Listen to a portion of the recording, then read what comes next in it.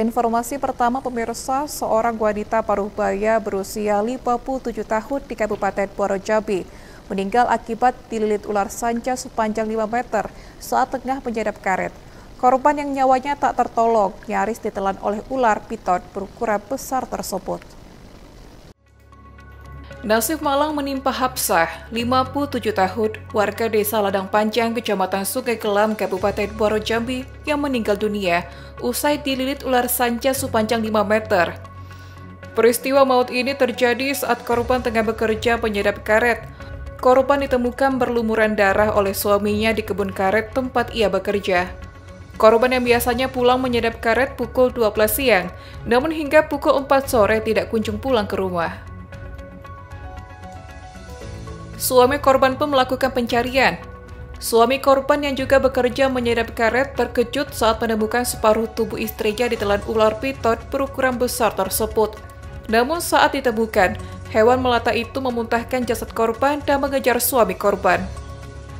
Warga sekitar yang tersulut emosi kemudian beramai-ramai mencari keberadaan ular tersebut. Warga akhirnya berhasil menemukan keberadaan ular tersebut dengan jarak 300 meter dari lokasi penemuan korban. Ular sanca sepanjang 5 meter itu ditemukan tengah bersembunyi di bawah akar pepohonan yang diduga menjadi sarangnya. Ular ini pun akhirnya berhasil ditangkap oleh warga. Karena sudah jam 4 sore, belum pulang, disusul.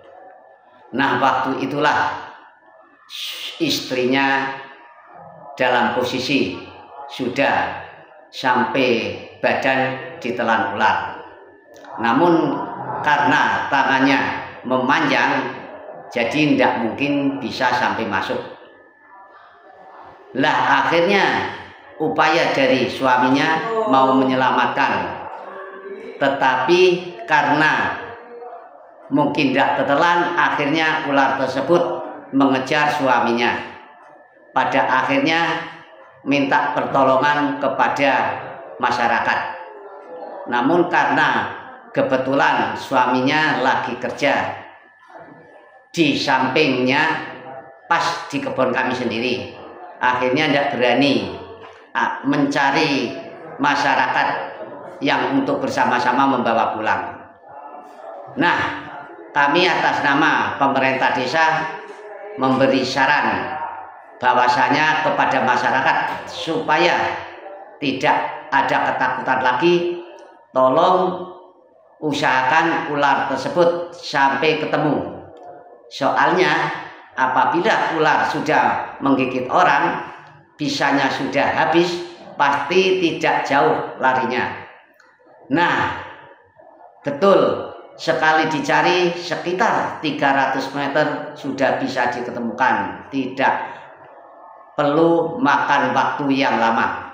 Dan akhirnya masyarakat berbondong-bondong untuk menangkap ular tersebut alhasil dan akhirnya dibawa pulang disampaikan kepada masyarakat lainnya. Warga yang kesal akhirnya mengevakuasi dan menyeret ular sanca ini menggunakan sepeda motor. Bangkai ular piton tersebut akhirnya menjadi tontonan warga sekitar. Novia Putri Sanjaya, Cek TV, melaporkan.